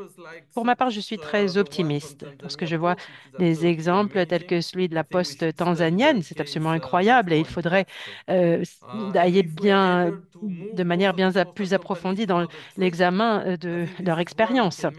À mon avis, en tout cas, c'est le modèle 3 qui va nous permettre de faire la différence en ce qui concerne la contribution du réseau postal euh, au succès des MPME dans toutes les régions du monde, surtout si on veut les intégrer d'ailleurs. Si on veut les intégrer dans euh, le système d'échange et de commerce internationaux. Merci beaucoup, José. Je crois qu'on a encore le temps pour une ou deux questions peut-être. Je voulais parler des propositions de valeur. Comment une proposition de valeur d'un produit de MPME postal peut permettre d'améliorer l'utilisation des solutions disponibles. Louise, je vous pose cette question. Merci, Yab. Je vais venir compléter ce qui vient d'être dit par José sur les données. Le principe, c'est la conception qui est axée sur l'utilisateur. On en a déjà un peu parlé. Les PME et les MPME ne sont pas homogènes. Il y a un grand nombre d'entreprises différentes qui ont des maturités financières numériques différentes. Donc, il faut bien définir les choses et ce qui est très utile dans le cadre de la conception, c'est de voir directement avec les bureaux de poste à quel stade ils en sont, quelles sont les capacités numériques, les ambitions, les objectifs de, de ces bureaux de poste à proprement parler. Et ensuite, il faut comprendre quelle est la clientèle, quel est le secteur, quel type de détaillant, de groupe d'entreprises se trouve prioritaire sur, et prioritaire et mal desservi. Et ensuite, on utilise ces informations issues de des différentes études avec ces groupes pour bien comprendre quels sont leurs besoins, quels sont les obstacles. Et on voit comment lever ces obstacles et créer des opportunités pour ces groupes dans le cadre des principes de conception avec l'inclusivité, l'abordabilité, mais aussi la simplicité qui est importante dans la conception de tout produit. C'est la simplicité qui permet à l'utilisateur d'accéder à ces solutions et à prendre de bonnes décisions. Et puis, une fois qu'on a fait cela et qu'on a bien compris quels étaient les objectifs de ce segment, la capacité de l'organisation, Ensuite, il, faut faire des tests, il faut voir quelle est la, la pertinence, quels sont les besoins en matière d'investissement, quelle, quelle est l'étude de rentabilité, etc. Et puis, ensuite, on revient vers le groupe, on vérifie que le prototype est intéressant pour le groupe en question et qu'il répond à leurs besoins et leurs questions qu'on avait identifiées au début. Et puis, on passe ensuite à un projet pilote. Merci, c'est très intéressant. À mon avis, il va falloir arrêter ici cette table ronde. Nous n'avons pas beaucoup de temps pour la discussion. J'aimerais reprendre l'idée des solutions adaptées et de l'appui apporté aux postes et à la clientèle des postes. On a parlé d'interopérabilité, de la responsabilité collective. C'est ressorti très clairement de, de, vos interventions. On a parlé de la formation. Ce sont ces messages essentiels que j'ai relevés aujourd'hui. Les réseaux postaux ont un rôle essentiel à jouer dans cet écosystème propice pour les MPME. Mais il faut qu'ils soient volontaristes dans cette démarche et qu'ils jouent un rôle dans le cadre du programme d'inclusion financière. Les réseaux postaux doivent bien comprendre les, les besoins de numérisation des paiements cela leur permettra d'élaborer des solutions conçues pour chacun des segments. L'innovation également fait partie des partenariats. Les partenariats nous entraînent de meilleures solutions de produits, permettent aux postes d'élargir leur base de clientèle et de la conserver. Les partenariats au niveau des postes sont essentiels et cela permet à, cela permet d'avancer et L'exemple des postes est important pour faire avancer les MPME à l'avenir. Je remercie à nouveau tous les intervenants de leur de vos exposés. Et dans les quelques minutes qu'il nous reste, je souhaite ouvrir la discussion pour des questions s'il y en a. et donner la possibilité à tous les participants de d'intervenir s'ils le souhaitent. Monsieur Toubisha, la parole. Merci. J'aimerais tout d'abord remercier tous les intervenants de ces exposés très informatifs. Je remercie l'UPU également, ainsi que vous-même, IHAB, de d'avoir organisé cette table ronde. Je vais poser une question à la représentante de Visa. J'aimerais savoir quel rôle Visa joue dans l'amélioration des infrastructures de numérisation des paiements pour les MPME, notamment dans les zones rurales mal desservies au niveau bancaire. Je vous remercie beaucoup. C'est une question brillante. Je vous remercie de l'avoir posée. J'en suis ravie. Visa est un, un réseau, un réseau technologique tout d'abord, qui permet la connectivité et le flux des données de paiement, mais nous sommes également un réseau de partenaires. Nous avons plus de 30 000 organisations qui collaborent avec nous dans les différentes régions du monde, dans les zones rurales, périurbaines notamment, pour construire et étendre cette infrastructure de paiement. Cela prend des formes différentes. On travaille avec des partenaires qui, qui ont des, des, des projets de code QR avec des organisations qui s'occupent du dernier kilomètre, avec de nombreuses organisations, nombreux partenariats et avec fin, la fintech, les organisations de finances pour le développement. Et notre rôle, c'est d'élargir ce réseau à l'appui des propriétaires de MPME pour qu'ils puissent rejoindre l'économie numérique et en tirer tous les avantages. J'espère que j'ai répondu à votre question sur le rôle que nous sommes fixés en tant que partenaire qui favorise ces solutions. Merci. Merci, Louise. Il y a également une autre question de l'UPAP. Vous avez la parole, Monsieur Abdoulaye. Merci, merci beaucoup.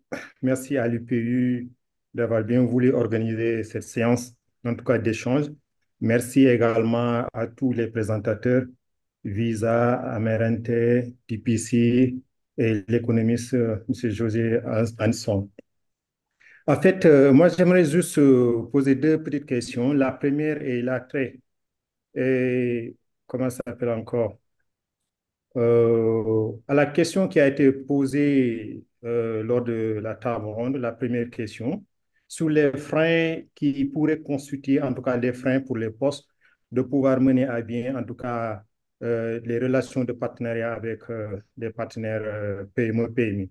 Et je pense que les réponses qui ont été servies ont tourné autour du renforcement des capacités et les infrastructures.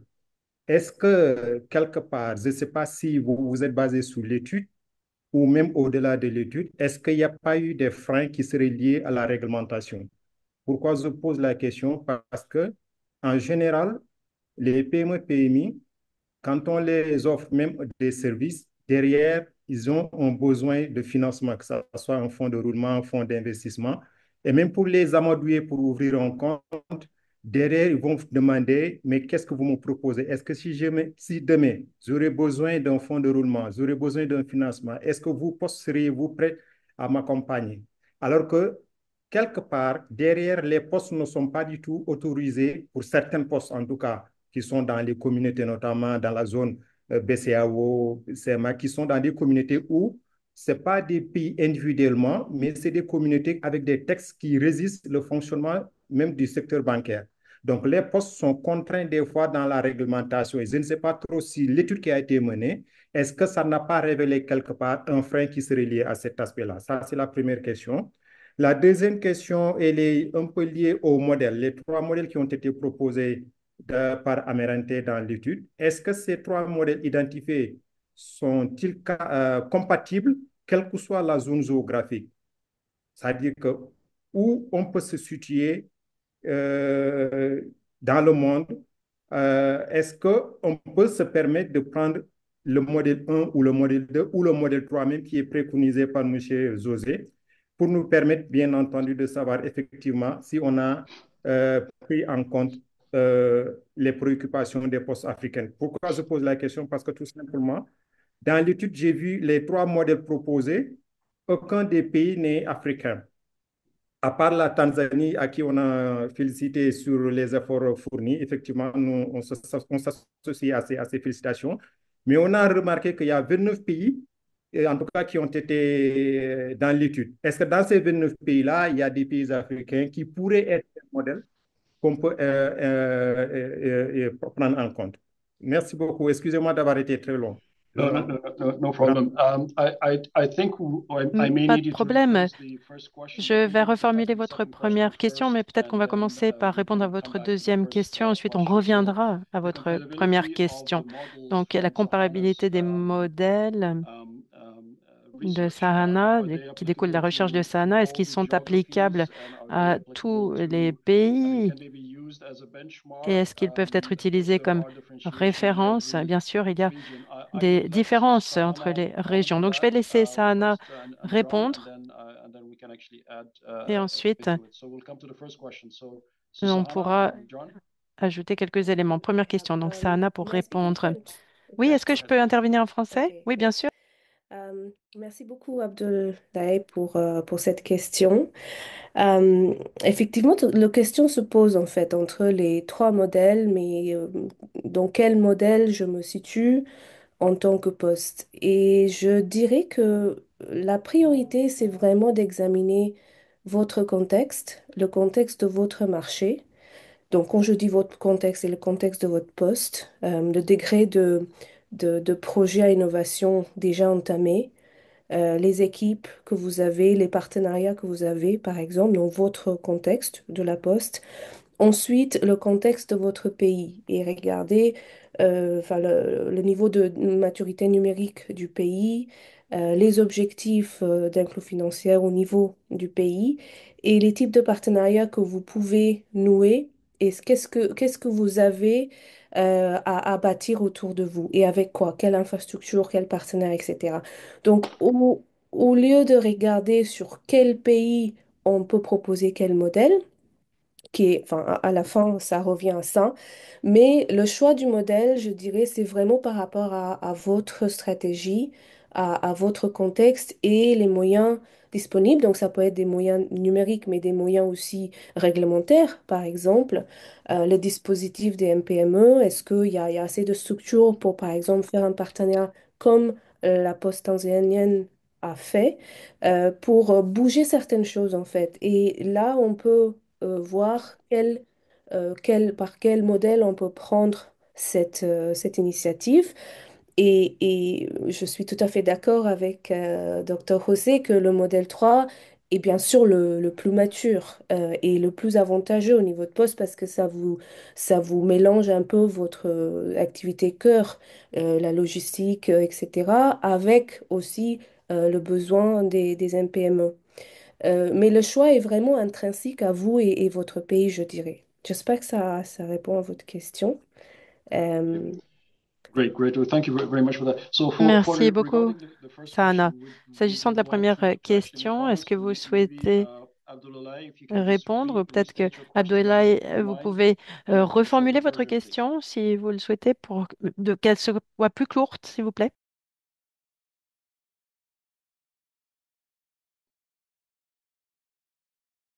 Voilà, en fait, euh, il pleut ici, je ne sais pas trop, la communication fait défaut. Si j'ai bien compris, vous me demandez de reformuler la question. Je vous plaît, voulais, oui. si c'est le cas, Je Oui. voulais juste savoir, je voudrais juste savoir, parmi les contraintes qui ont été évoquées, est-ce qu'il n'y a pas une contrainte d'ordre réglementaire? C'est clair. Okay, oui. José, what, what, could Oui, you, José, you, uh, we get you your input on that? Pourriez-vous nous répondre? La partie régulation, bien, bien, bien sûr, euh, il peut y avoir des, euh, des blocages réglementaires. C'est la première identification du problème euh, qu'il faut réaliser. Si on veut aller vers le modèle 3, évidemment, ça n'a a aussi raison. Ça dépend des circonstances du pays et de l'état des, des, des, des contraintes, par exemple, réglementaires. On ne peut pas directement aller au modèle 3 que j'aime tant sans lever une série de contraintes réglementaires. Ça, c'est sûr. Donc, en fait, ce qui serait pas mal, euh, ce qui serait intéressant dans, cette approche serait de voir euh, quelles sont les contraintes réglementaires qui empêchent d'aller vers le modèle 3. Euh, parce que le modèle 3, c'est un modèle qui est vraiment, pour moi, gagnant, gagnant, gagnant pour toutes les parties. Gagnant pour les MSMIs parce qu'elles ont accès à une panoplie de services incroyables pour leur développement. Gagnant pour les, les, les entreprises postales parce que c'est le futur des services postaux, c'est la combinaison de services.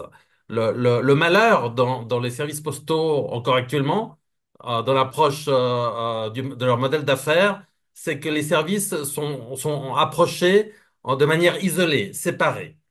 Et aujourd'hui, la transformation des, des entreprises postales qui ont vraiment du succès, ce sont les entreprises postales et réseaux postaux qui savent combiner leurs services euh, à travers les, les, les différentes euh, possibilités, les, les paiements, la logistique, les, les, euh, les, euh, les, les marketplaces.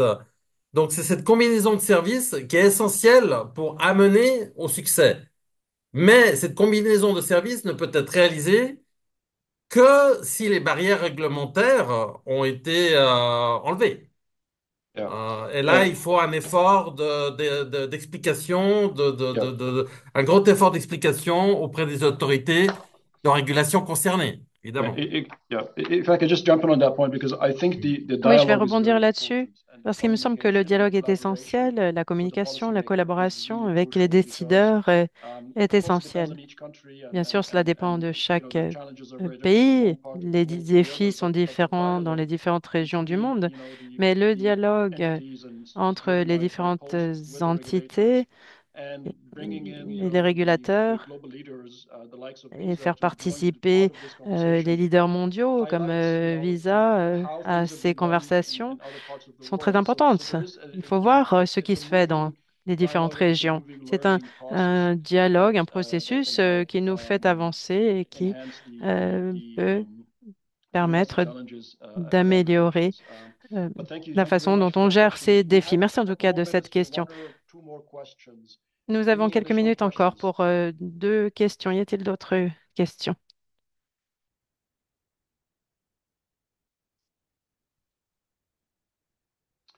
So, so, so maybe I can just raise raise a, raise a point to Je euh, vais faire une observation à l'intention de, Visa. Vous avez euh, parlé du travail de. Mentorat, la formation, c'est très intéressant. Et j'aimerais savoir comment euh, Visa fait cela dans euh, le cadre des partenariats. Est-ce que vous évaluez, est-ce que ce sont les partenaires qui évaluent les besoins de vos clients? Merci de cette euh, question, Ihab. Nous procédons de différentes manières. Nous avons la chance d'avoir la Fondation Visa qui nous um, présente les différents groupes partenaires avec qui nous um, travaillons, notamment les um, PME, MPME conduites par des um, femmes et l'on voit comment on um, peut euh, um, améliorer la croissance de leurs activités, accroître la résilience. um, Cela peut inclure um, euh, la numérisation des paiements ou non. Um, Il s'agit en tout um, cas d'améliorer la résilience dans Um, les différents secteurs de l'économie. Pour ce um, qui est de, enabling du soutien direct offices, MPME, notamment um, euh, aux différents bureaux um, de poste, l'on s'assure que la participation avec chaque bureau de poste correspond aux besoins de ce contexte, aux différentes capacités, aux objectifs de ce bureau de poste. Et il faut que tous ces éléments soient pris en compte. Et on peut procéder à du renforcement des capacités, du mentorat, du personnel des bureaux de poste, qui sont des composantes essentielles de la distribution, de la livraison. Et on peut faire cela dans le cadre d'un partenariat à long terme par le biais de partenaires locaux. Mais nous avons également une, une équipe qui évalue l'impact et qui se concentre sur l'inclusion financière et sur l'aide aux connaissances numériques. et qui diffuse ces informations dans les groupes partenaires qui travaillent avec d'autres organisations pour avoir des contacts avec le personnel des bureaux de poste, avec les différents propriétaires d'entreprises. Cela peut se faire en personne, en ligne, quel que soit le bon point d'accès pour chaque groupe dans le pays. Eh bien, nous faisons cela. Voilà, pour répondre à la question que vous m'avez posée. En tout cas, on s'assure que l'on dispose de l'appui nécessaire dans le contexte donné. Merci. Avez-vous d'autres remarques? Je vous donne la parole, Sana. Merci. We cannot hear you, John, sorry. John, John, nous ne vous entendons pas. Oui, voilà, nous vous entendons, John. Ouais, J'ai bien écouté la présentation de Visa. et il nous faut un partenariat très important sur les infrastructures. Si nous pouvons le faire, cela sera utile. J'ai travaillé avec la Tanzanie, avec la Poste indienne, l'Éthiopie, beaucoup d'autres pays. Et j'ai toujours l'impression qu'il y a des lacunes. Ils veulent vraiment appliquer ces modèles d'appui au MPME, mais il n'y a que très peu qui est fait pour venir appuyer la numérisation. L'Éthiopie a, a vraiment très bien travaillé. J'ai été associée à leur transformation. C'était vraiment incroyable. Et ce modèle est vraiment un modèle qui est faisable. Ils ont appliqué le modèle 3 qui, que vous avez suggéré et on voit que cela a été profitable, que cela a amélioré l'impact social autant que l'impact économique. Je vous remercie. Merci. Encore quelques mots rapides, Sana, parce que nous manquons de temps. Merci. Alors, je voudrais revenir sur la numérisation, la, la logistique, comme l'a dit José, le meilleur modèle, c'est le troisième. Pour revenir sur ce qu'a dit Abdoulaye, bon, il y a des obstacles réglementaires. J'aimerais également féliciter la Poste tanzanienne pour ce qu'ils nous ont montré, parce qu'ils ont vraiment compris l'importance des MPME en dehors des questions de paiement, la question des encouragements, de la favorisation des, des activités. Et, et Louise, d'ailleurs, vous avez dit qu'il n'y a pas qu'un seul acteur qui peut permettre cela. Il faut vraiment relier les différentes parties prenantes. Et pour cela, il faut adopter une approche tripartite avec les différentes parties prenantes pour que les choses fonctionnent. Merci beaucoup. Merci, José. Nous ne vous entendons plus, Ihab.